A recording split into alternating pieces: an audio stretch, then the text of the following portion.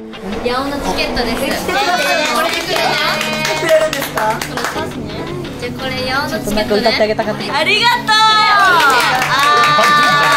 ヤオ来てもちろん行き。ますすごいねランウェイ向けて走り出したこのツアーなんですけど今日ヤオのチケットが完売しました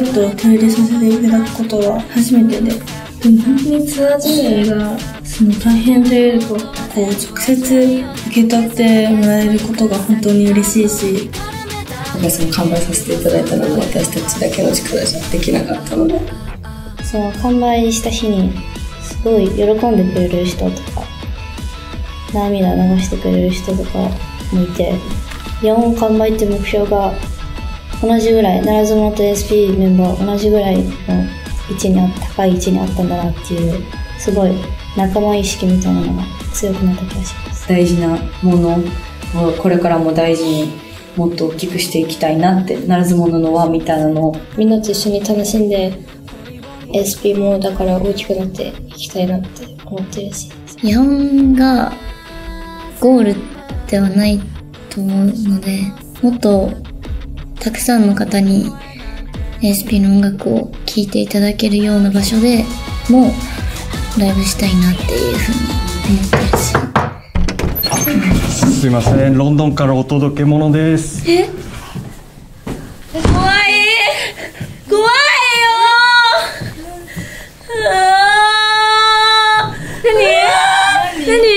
何？何？誰か開けていい？開けあーもうやだやだやだやだせーのえ待って何渡辺さんええ、あまり、え、出して。え、待って待ってえ、え、え、待って待って待って待ってえ、え、え、待って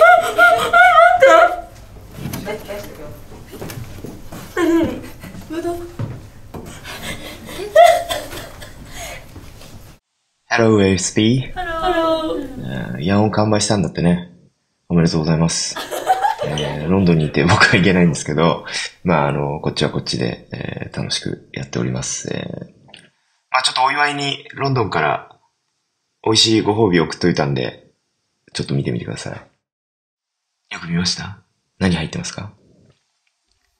玉ねぎとぶどうジュースの缶。ぶどうの缶詰と、玉ねぎ。2本の、ぶどうの缶。ASP!2024 年10月8日、日本武道館単独公演開催決定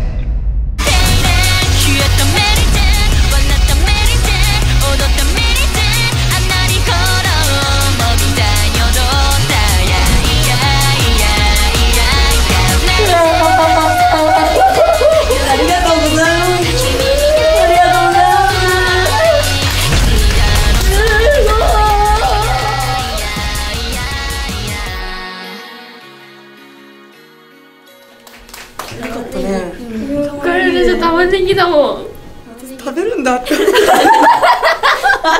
これ食べるまで帰れませんかと思って。れはもう無理